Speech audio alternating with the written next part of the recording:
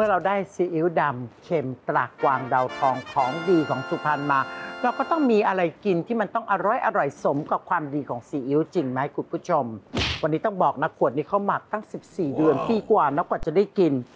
ซื้อมาแล้ว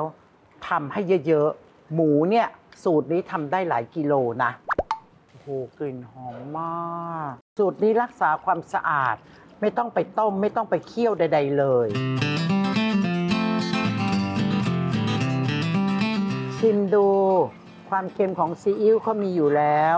ไม่ต้องไปใส่เกลือ ไม่ต้องไปใส่อะไรอีกเลย เอกลักษณ์ของตำรับนี้นะ หมูดองซีอิ๊วแดดเดียว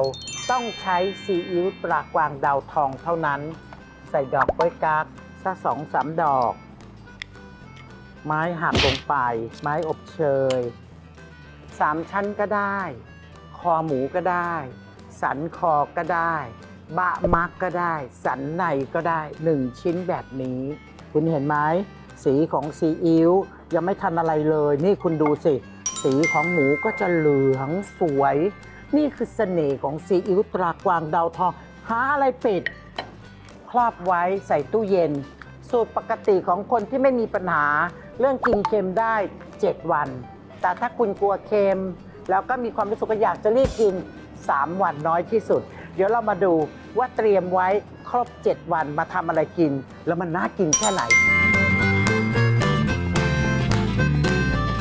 นี่เมื่อแช่ในน้ำซีอิ๊วสูตรพิเศษของเรา ใช้ซีอิ๊วตรากวางดาวทองครบหนึ่งสัปดาห์หยิบขึ้นมาซับให้แห้ง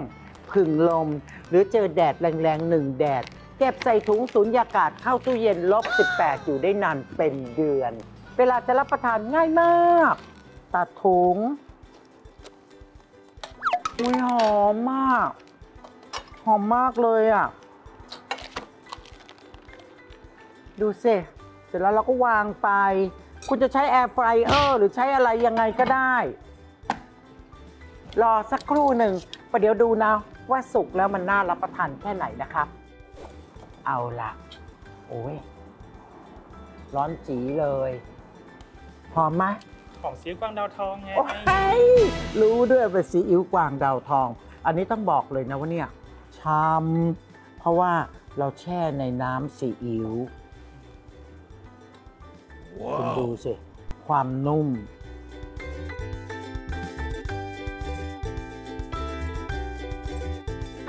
คุณแม่คะ คุณแม่ ค่ะ คุณแม่เชิญเรียนเชิญค่ะ เมื่อกี้ฉันเอาซีอิ๊วคุณแม่มาหยิบให้ฉันน่ะ ลองชิมซิต้องบอกเลยนี่คือเอกลักษณ์สูตรนี้ สวค่ะใครชมรายการสุขอย่างยิ่งได้ไปแล้วนะคะ